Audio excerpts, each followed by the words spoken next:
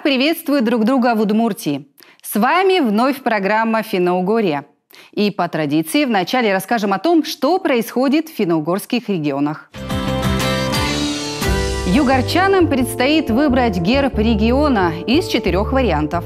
Разработкой геральдического символа автономного округа занялись после того, как специальная комиссия выявила, что действующая эмблема составлена с нарушением геральдических правил.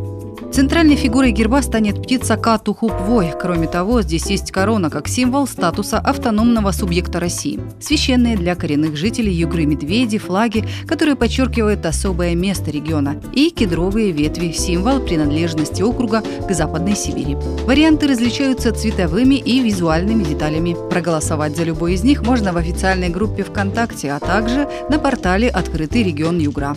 Интернет-голосование продлится до 13 октября. Кроме того, с 27 сентября по 11 октября во всех муниципалитетах Югры пройдет общественное обсуждение эскизов герба. Итоговое обсуждение назначено на 15 октября. Оно пройдет в режиме видеоконференц-связи с подключением всех муниципалитетов.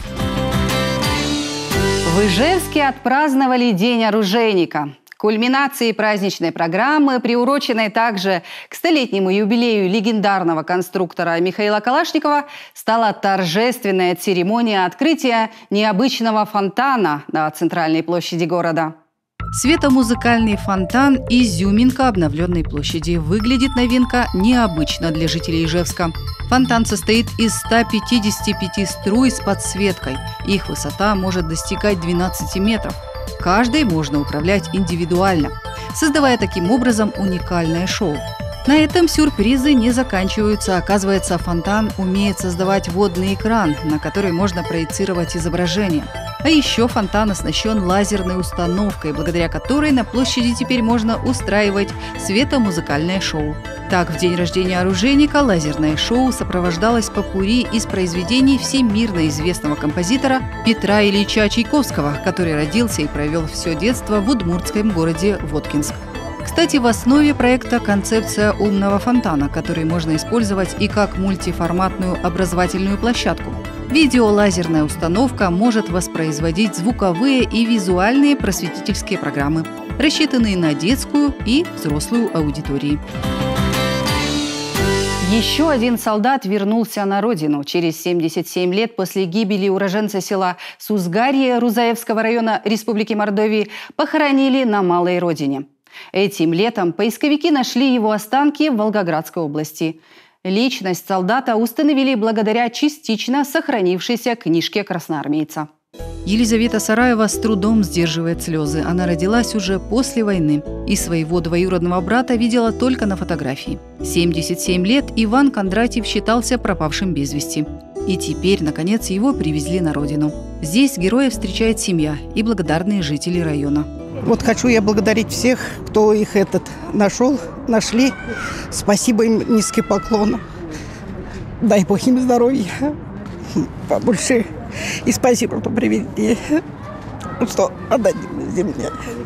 Иван Кондратьев ушел на войну в феврале 1942 года. 19-летнего парня из Сузгарья зачислили курсантом в Московское пулеметно-минометное училище. День, когда Иван покинул родное село, соседка Аксинья Киреева помнит до сих пор. Тогда ей было всего 10 лет. Жили напротив.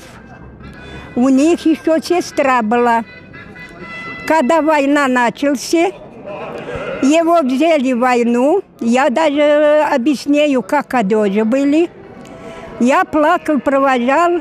Мне была тогда, это, в 43 году мне 10 лет – Останки Ивана Кондратьева нашли бойцы казачьего поискового отряда «Взрыв». В начале августа они провели экспедицию в Веловлинском районе Волгоградской области. В ходе нее у хутора Шохинский поисковики обнаружили останки шести погибших защитников Сталинграда. А бои там происходили в августе 42 года, когда немецкие полчища, немецкие танковые клини рвались к Сталинграду. И вот курсантов разных училищ, Орджоникидзевского пехотного, Московского пулеметного, десантные корпуса. И как раз на, на линии прорыва их допускали. Вот два дня сражался полк, и вот они на два дня сумели остановить вот эти фашистские наступления.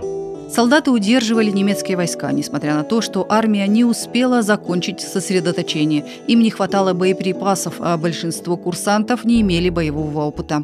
То, что произошло на земле Сталинграда, это самая страшная битва в истории человечества.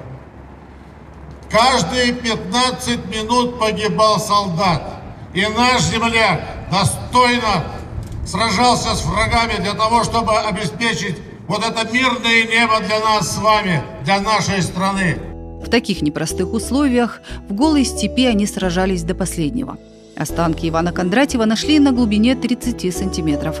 Там же поисковики обнаружили останки армейской книжки, благодаря которой и удалось установить личность солдата.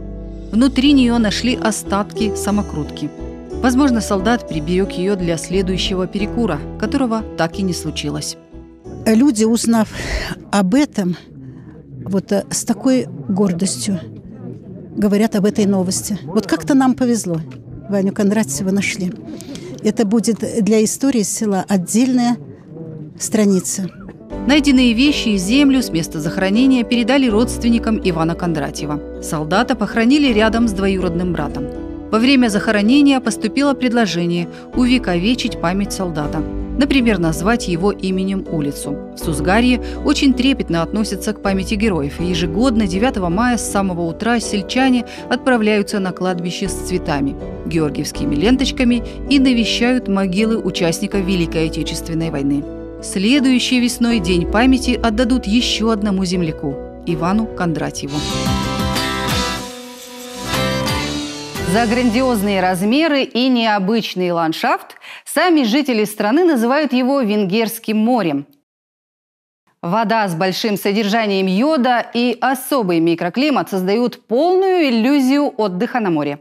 Однако вода здесь совсем не соленая. Балатон – знаменитое озеро Венгрии, крупнейший пресноводный водоем в Центральной Европе. Озеро Балатон раскинулось на западе Венгрии, в 90 километрах от Будапешта, на Среднедунайской равнине, у подножья массива Бакань. Его площадь составляет почти 600 квадратных километров, ширина 12, а длина 78 километров. Огромное пресноводное озеро лежит в тектонической котловине. Уникальная особенность озера – его небольшая глубина – около трех метров. Только в одном месте, в Тихоньской впадине у полуострова Тихонь, расстояние до дна составляет 12 метров. Из-за небольшой глубины летом вода в озере довольно быстро прогревается. Средняя температура теплого сезона составляет 22 градуса, в особо жаркое время до 28 градусов, но покрыта бархатистым песком. Вода в Балатоне чистая, но непрозрачная из-за содержания в ней планктона. Цвет озерной воды меняется в зависимости от погоды и времени суток, от серого и лазурного до светло-зеленого. Особый южный микроклимат и мягкая вода с большим содержанием йода создают иллюзию отдыха на море. Лето преимущественно солнечное, но бывают сильные ветры. Не слишком холодно здесь и зимой, однако Балатон замерзает.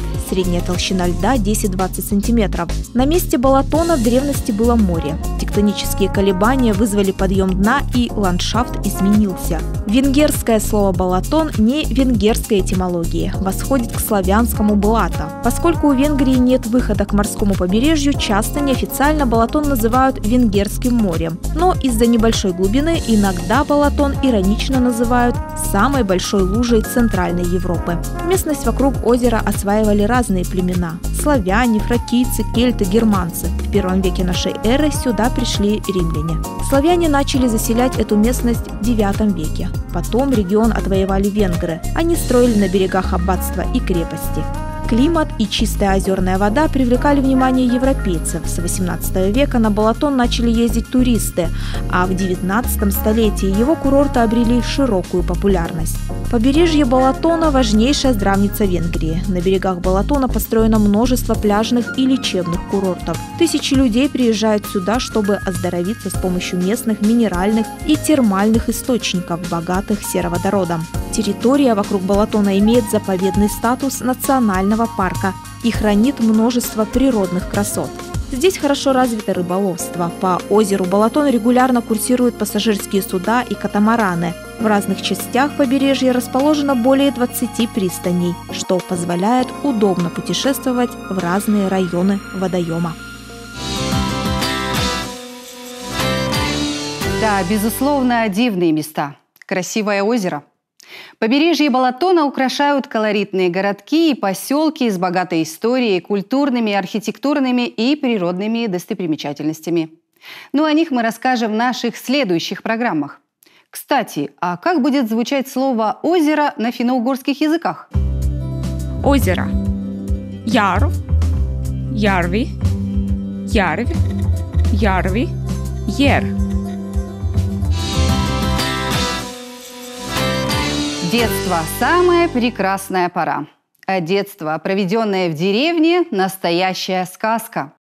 С каким трепетом мы вспоминаем дни, проведенные на свежем воздухе, вечера с бабушкиными шаньгами и ароматным чаем – айтамы горашилам ектамы мусук яскат кучишламы быдвока гаваямы.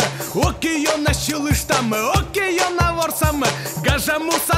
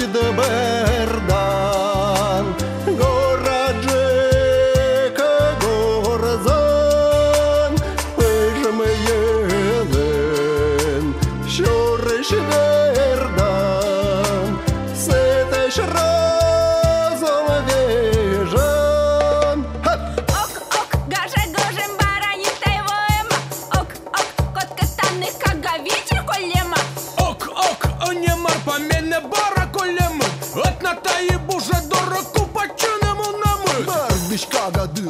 шань коледамы На этом мы прощаемся с вами. До встречи, Финаугория!